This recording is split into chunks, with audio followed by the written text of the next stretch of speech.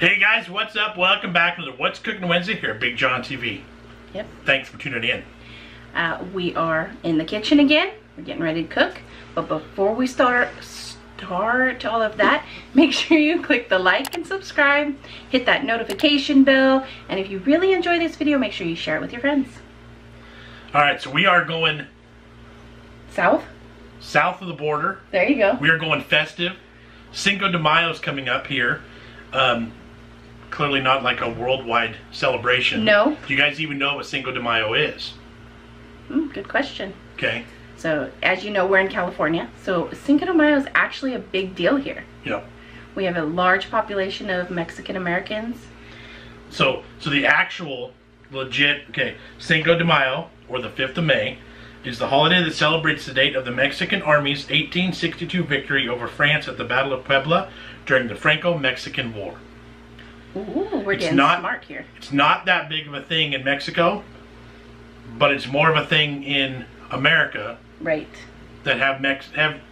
Especially places that have large populations of Mexicans. That's what I was gonna say. which California very much does. Yep.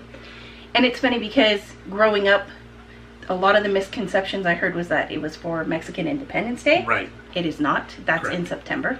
Yep. So we're using that as a, as the theme for what's cooking Wednesday this week. We're on Mexican food.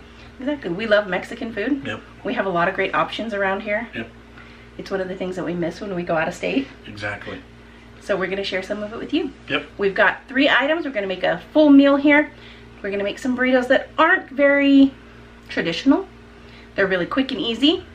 They're great to make ahead. Then we're going to move on to something that's definitely more traditional, some Mexican rice. I like mine super simple and it's really easy to make. Yep. It's taken me many years to perfect yeah, it. She, she does a good version. It's and good. this one is perfect every hmm. time. And our final dish is a side. We're going to do basically street corn in a cup.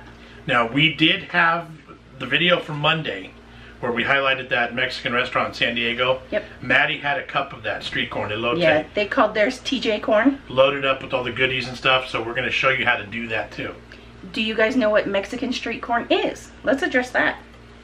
Mexican street corn. I don't know if it's in Mexico. It could just be a California thing too. I don't know that. But it's all around. You find it all over the place. We have people who walk around town with a shopping cart and ears of corn. Ears of corn, stab a stick in it. Usually it's mayonnaise based. Yeah, start with the A mayonnaise. coating of mayonnaise. You give it a little bit of cotija cheese, Yes. a little bit of chili powder, hmm a squeeze of lime. Good to go. And sometimes they'll add fresh crema, Yep. which is kind of like sour cream. And so we're going to combine all of that into one dish that's Yep. ready to go.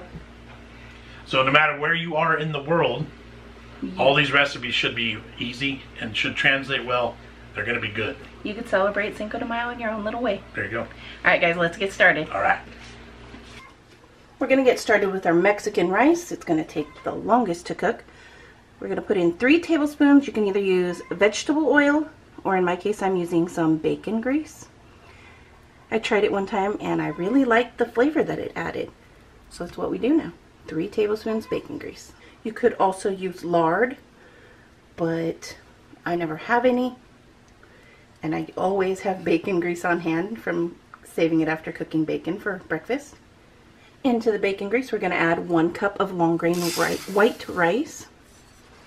And we're going to let this cook until the rice turns kind of translucent and even a little golden around the edges. I find that the longer I let this cook in the bacon grease, the darker it gets, the better it turns out. It becomes nice and fluffy, the grains of rice don't stick together. I usually let this cook about five minutes or so. So after it gets kind of opaque, it's going to start to get really white again, and then the edges will turn golden. It starts to get golden, that's when we're ready. Alright, I don't know how well this is going to show up on the camera, but the rice has a nice kind of golden color. Check it out. A little bit brown towards the edges. That's what we want to see. Alright, the only seasoning we're adding is one teaspoon of garlic salt and a half a teaspoon of cumin.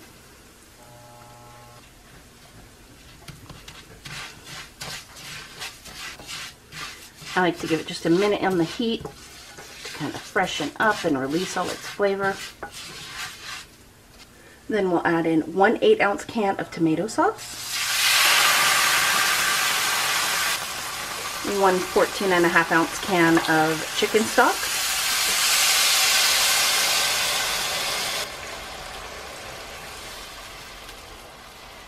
We'll stir to make sure everything's well combined. We're going to allow this to come to a boil.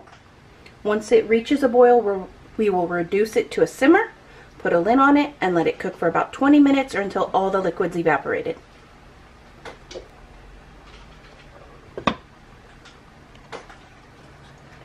Alright, next we're going to move on to our make-ahead burritos. In our pan, we've got three tablespoons of bacon grease again.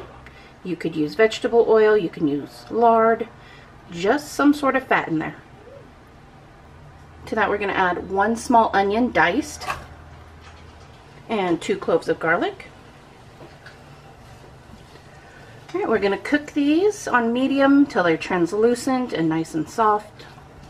Alright, our onions and garlic are looking nice and translucent and soft. So we will add about two pounds of ground beef.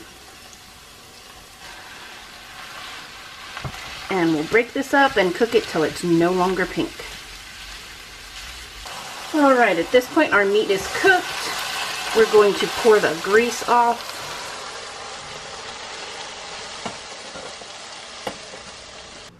Alright, we'll add our meat back into our pan.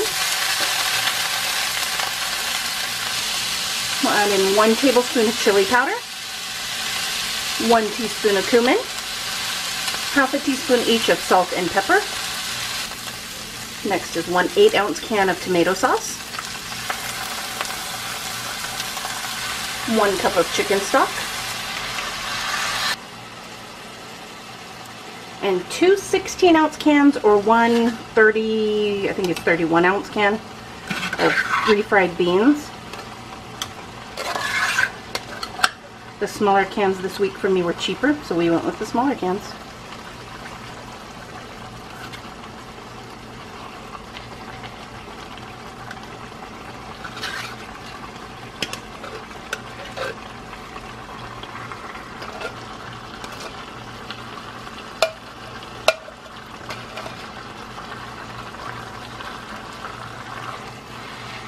and gently combine this all. You want to make sure you break up all the beans and fully incorporate everything together here.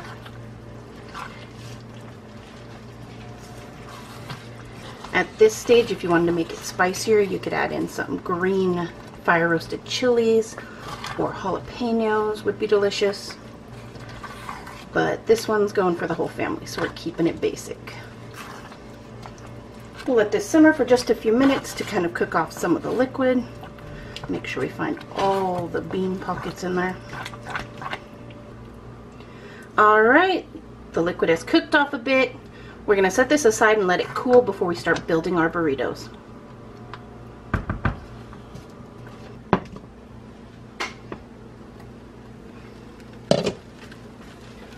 Alright, our rice is done. Around the edges you'll find that the tomato sauce kind of pulls up. Just stir it back in. This is super fluffy, not sticking together. That looks fabulous. Alright, let's finish everything else up. Alright, first step for our elote is one pound of frozen super sweet white corn. Goes into a pot of boiling water.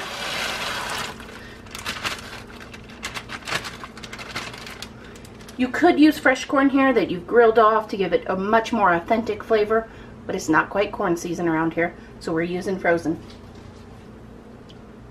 We're just to let this cook for about four or five minutes just to warm it all through.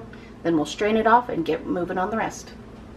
All right, our corn has warmed through. We're to drain it off and into a separate vessel. All right, let's move on to the next step.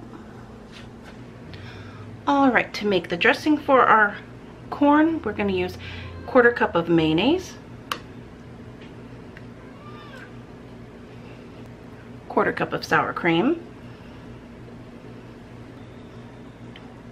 two teaspoons of Tajín.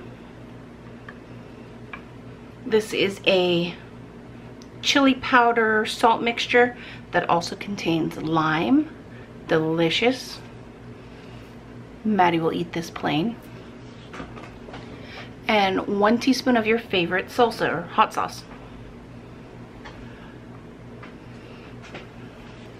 We're using Valentina. This one's pretty popular around our house. It's got a nice vinegar bite and not too spicy.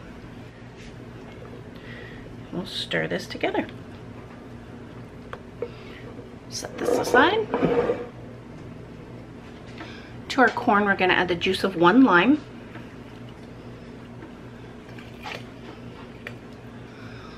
One cup of finely chopped red onion.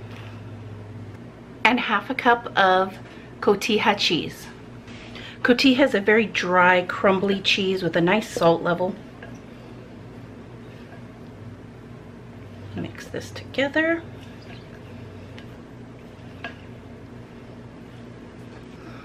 Add in half a teaspoon of black pepper.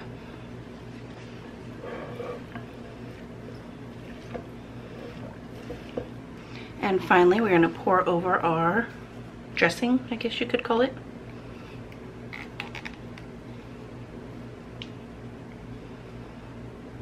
Stir to combine. This can be served either warm as it is, or you can allow this to cool in the fridge and serve it that way. I like it both ways. All right, and that one is done. All right, next we're gonna move on to building our burritos. We've warmed up our tortillas. Each will get a nice scoop of the filling.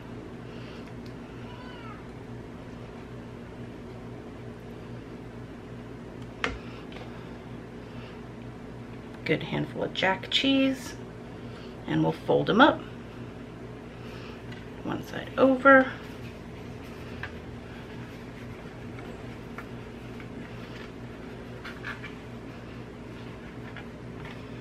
There you go. And again. Cheater, this one's got a hole.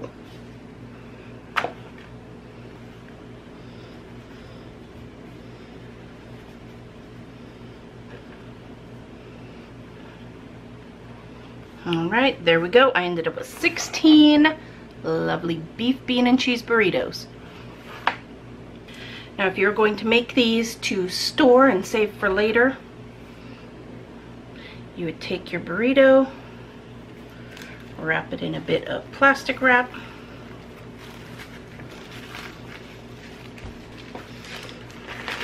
into a freezer bag, and then into the freezer. And then to reheat them, you can wrap them with a paper towel, pop them in the microwave for about 45 seconds at a time until they're heated through. Okay, on the burritos I'm serving tonight, I've got a pan here with some oil in it, screaming hot. Gonna brown them off just a little on either side.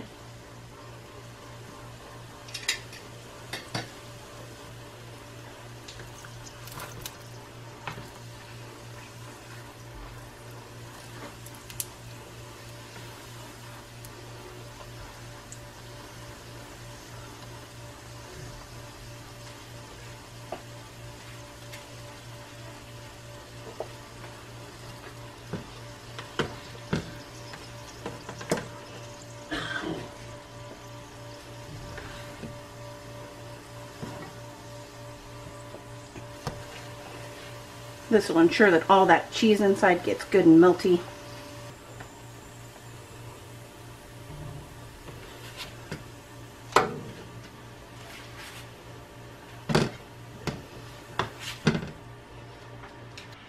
Check it out.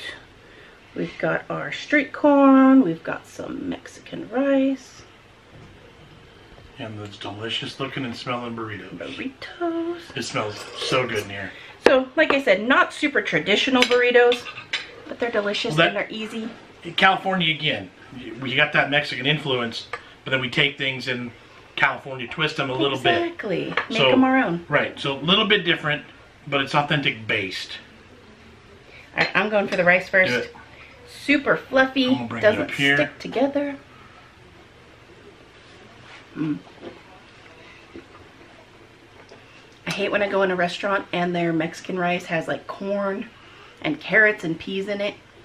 Yeah. I think that's so weird. It doesn't fit. Mm. So I garnish the corn with a little bit of extra lime because I usually like to add more lime to it. That's really good too. Good crunchy corn. Mm-hmm. Nice bite to them. Perfect level of salt. Yep. That cotija does have a really nice saltiness to it, so be careful with adding extra salt to it. And I saw you dancing around when you cut these open. Yeah, when I was slicing these, these We are might- so hot. We might not get a bite on these. Check it out.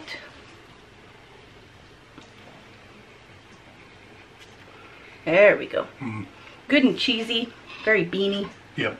Fantastic. I like that little bit of fry on them at the end. Just to crisp them up. Helps it hold together.